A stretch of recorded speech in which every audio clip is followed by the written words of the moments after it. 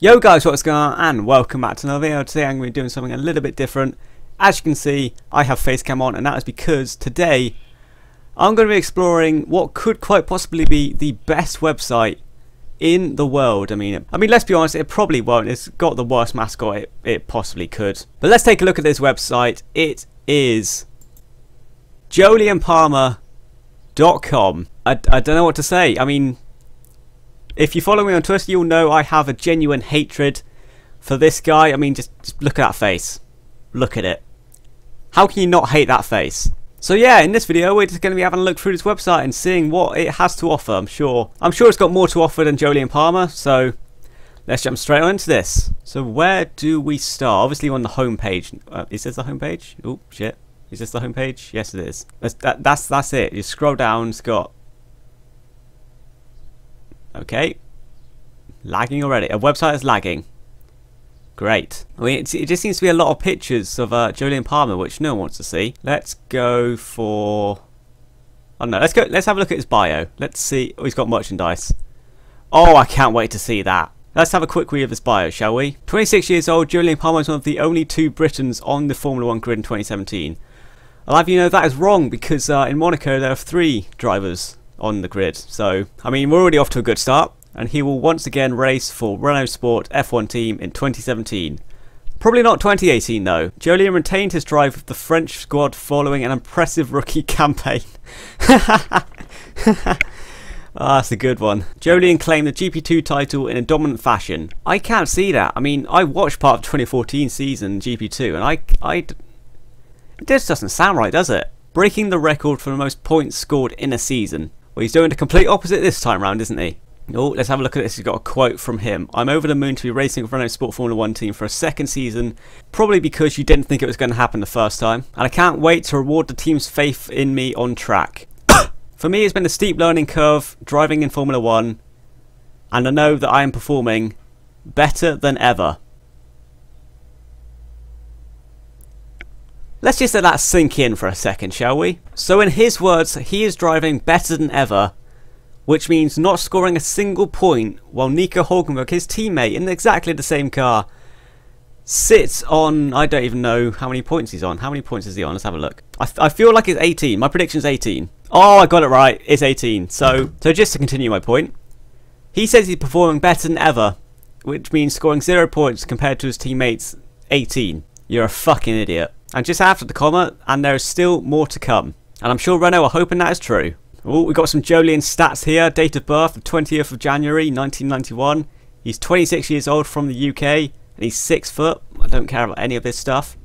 Interest in football and tennis, but not Formula 1.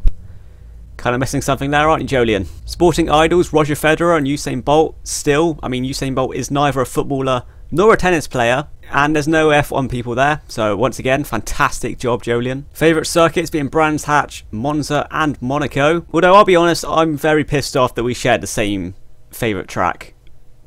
That, that really upsets me. I may have to change it. And his favourite colour is blue. Well, he's been showed the blue flags numerous times this season, so I don't expect any reason why it wouldn't be anything else. Career history. Oh, this would be fucking good. Jolyon enjoyed an impressive debut season. No, he didn't. Oh my fucking god. What is that haircut? What is that? Well, that's a sight I thought I'd never see. Jolyon Palmer at the top step of the podium. There is so much wrong with this picture. Okay, so we've had a look at his bio. Let's have a look at the merchandise. I'm excited to see this. I'd also love to know how many people have actually bought this. Wow. You know you're unpopular when you have to model your own clothes on your own website. I'm guessing this picture was taken the moment he was told that he, he's not driving in 2018. You can see he's contemplating death in this picture. I mean, look at his face. That's that's a man who wants to kill himself. So this is 50% off. Why would you, like even it, it's half price. Why the fuck would you pay 15 quid for something with Jolyon Palmer's name on it? I mean, that's just a bit shit, isn't it? That, really is. I can honestly say I would not pay 25 quid for that or that. I wouldn't pay 15 quid. I, you know, no, I wouldn't pay 5 quid for that, let alone 15. That's half price. And I most certainly wouldn't pay 40 quid for that. Moving on to the JP30 gallery. This to be fucking amazing. You're not starting off strong, just a picture of him. No one wants to see that. Let's have a look at the Canadian Grand Prix from Jolyon Palmer's point of view, shall we? Pointless picture. He just looks incredibly puzzled in that one. A picture of Alonso, and not even him. That's actually not a bad picture, if only it was Hulkenberg driving and not him. His helmet kind of ruins it. And I don't think this photographer realised there's a bit of grass stuck in the lens when he took the picture, but... Moving on. You know, I can't even lie, that's actually a pretty cool picture. What is the most viewed picture on this website? I'm, I'm very curious. Okay, so this is the most viewed picture on this website.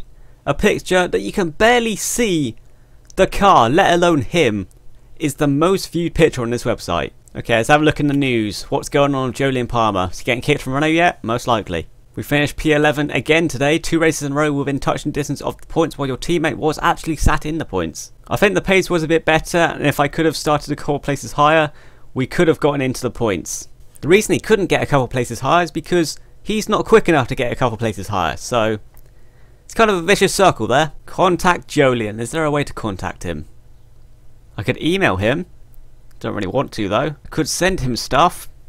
Wonder if that's ever been used. Probably not. For autograph requests.